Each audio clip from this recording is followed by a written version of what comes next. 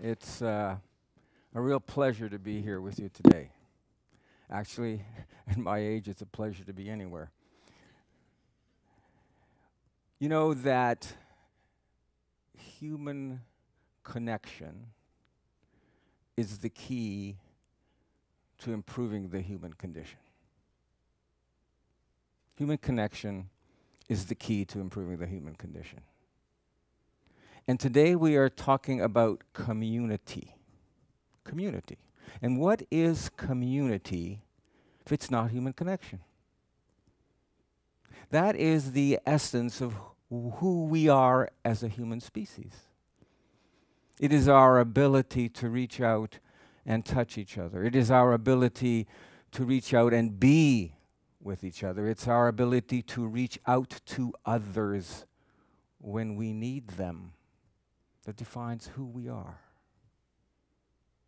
It is the essence of our humanity, and it is the essence of our community. So, I'm going to talk a little bit about how mental health and community intersect.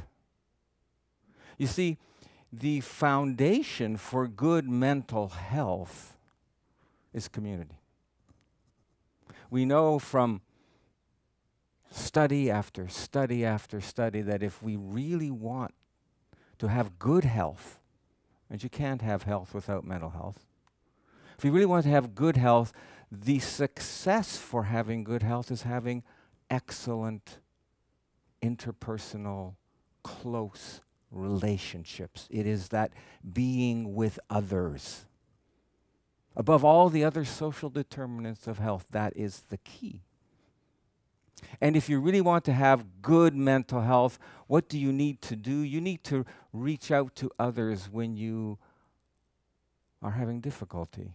And you need to reach out to others. It's reaching out to others which defines you and actually promotes your health. So that's what communities are about. Communities are about reaching out and letting yourself be reached by others. Now, when we talk about mental health, we, we often think we have a huge problem and a huge crisis in mental health. We actually don't have a crisis in mental health. Here's some Canadian data. And if you look at it, you actually see that most young people in, in this country are actually doing relatively well. So our problem isn't mental health. We need to have healthy communities, which means that we need to address all sorts of different health concerns for people. We need to have communities help us be well, but, and this is an important but, we need to have communities help heal us when we're sick. And there is no dichotomy between being well and being sick. You can be sick and be well at the same time. Wow, what an interesting concept, eh? Really, you can. You can have diabetes and be very physically active and physically healthy and, and have a family and do all those good things with your life. You can do that. You can have depression and be making a major contribution to your community and your society. You can do that. They're not dichotomous constructs. But when we look at our communities, the problem isn't in mental health. The problem for our young people is mental illness. That's not, that's the problem. This is global data from the World Health Organization, and you see over here in this pie chart something called the neuropsychiatric disorders. Boy, it's a big term basically means having a healthy brain. Because that's what mental health is it's having a healthy brain. And you see here that if you look globally, over all the diseases that we have in this entire world, that it is the mental disorders which have the largest burden of illness. And when we are not well, it's hard to be healthy. So we have to focus our community well being and our community health not on just focusing on being healthy, but on helping us when we're not healthy.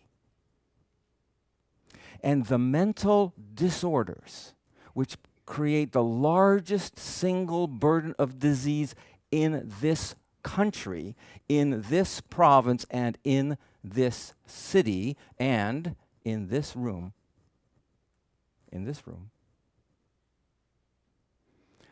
are the disorders, are the chronic illnesses of the young.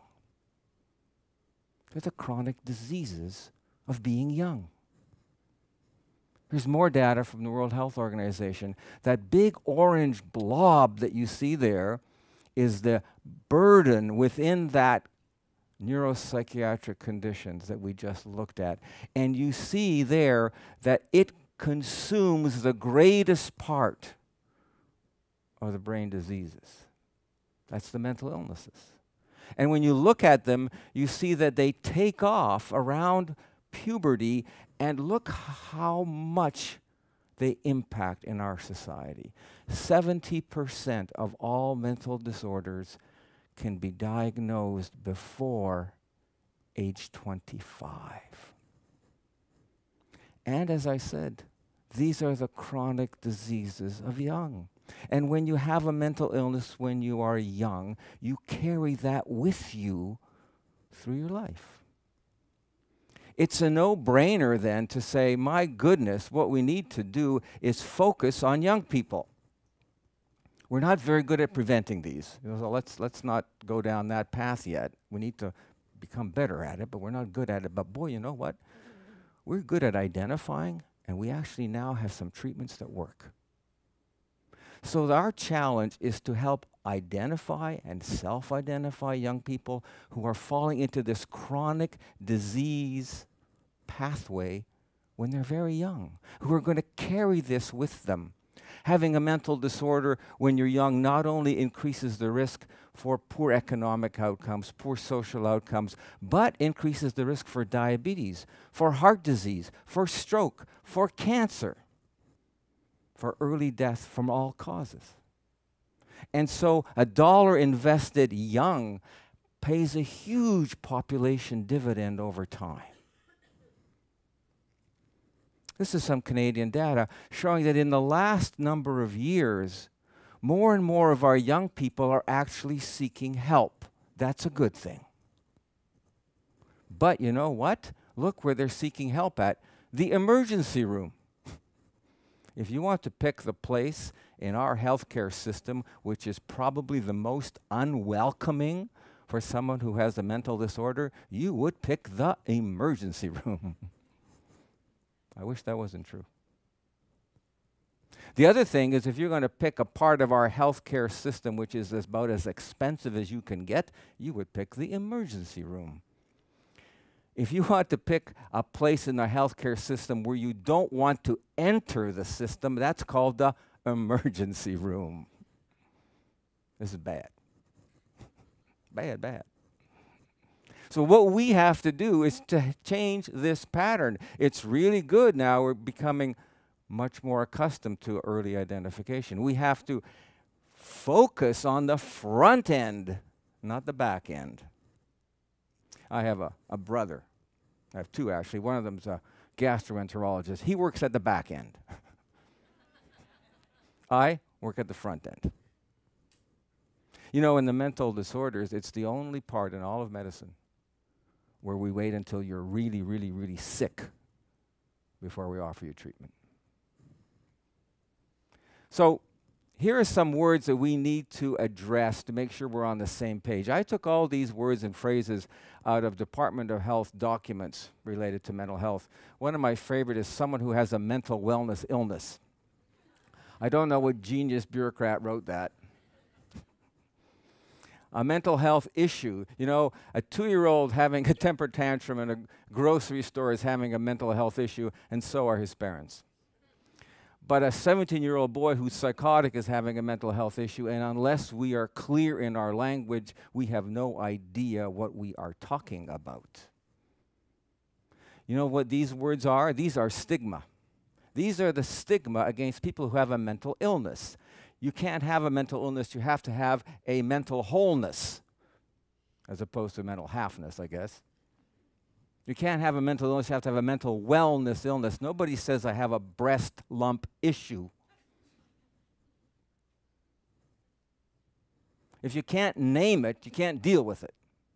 So the first thing we have to do is we have to separate this mental health and mental illness piece. And when we're talking about mental health, let's talk about mental health. We're talking about mental illness. Let's talk about mental illness. We don't have a mental health crisis. We have a huge problem in providing equitable access to effective care for people who have mental illnesses. That's our challenge. So let's use the language properly. Everybody in this room, everybody in this province will have mental distress over a 24 hour period. That's normal, ubiquitous, it's good for you, suck it up. All of us will have a mental health problem at some time in our lives. Somebody dies, we lose our job. But if I lose my job, I don't need Prozac, I need a job. So, medicalizing life isn't good for us. Some people will have a mental illness, and you can have all of those things at the same time. So, in addressing these community based mental health needs for young people, we have to realize that we can't separate health and education. Children, youth, spend most of their times in schools. Surprise. And schools are actually really important for all sorts of reasons. It's they're crucibles of social development. They're places where you're supposed to learn the skills to be successful in our society, not just only in literacy and numeracy skills, but in all those developmental skills which are also fundamentally important. And although the systems are separate and they're silos, they must be seamlessly linked. They must be brought together. Because if schools are where the kids are, doesn't it make sense that schools are where we have to reach the kids? Here's a schemata of a horizontally integrated pathway to youth mental health care. Clearly, it starts with the family. Clearly, it needs primary health care. But it also clearly needs the school. The school is the place where a young person can become mentally health literate. They can understand how to obtain and maintain good mental health. They can understand mental disorders and their treatments. They can decrease stigma and they can improve their help seeking. And it also, interestingly enough, is a place where teachers can become mentally health literate. And we have been studying this area for quite some time, and we have amazing data to show that simple, simple, inexpensive interventions work beautifully in the school system. CAP, you see that CAP thing? It's called Community Access Point. What could be better than a place in a school to get health care for kids? We call them youth health centers. Wouldn't it be nice if we have them in this province? Oh, we have them in this province.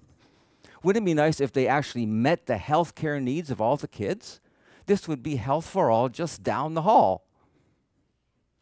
And if you live in a rural community or in, in, in an underserviced, impoverished part of the urban community, that's a wonderful place to access that care. So we have to create models that link the schools and the health system together. We have to create models that meet the needs of young people.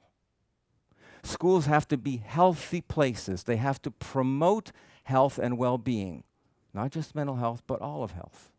What's good for your bicep is actually good for your brain, and vice versa.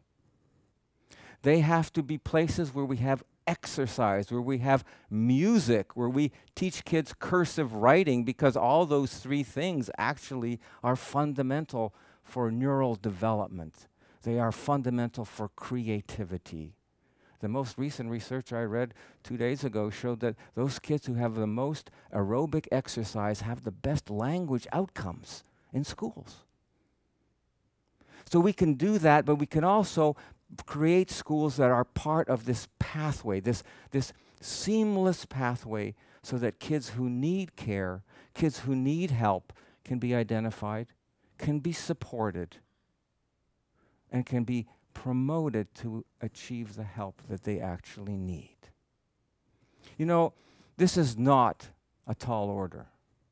Having this conversation is only the beginning of the journey. Talking is good, but we need to talk smart. We need to look where is the low hanging fruit? How can we pick that fruit? How can we actually move ahead? How can we act? We need to find answers to things we don't know, but there is an awful lot that we do know. So we need to act. And when's the time to act? Is it tomorrow? Is it next week? No. It's now. Thank you very much.